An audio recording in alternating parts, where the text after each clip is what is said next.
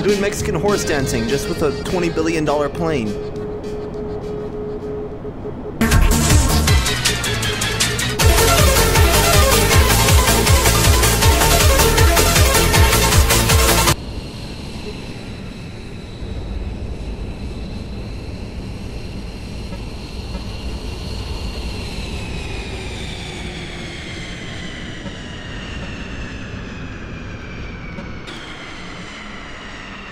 Was that not That the coolest was thing? the shit, man. that was the coolest was thing the I've ever done.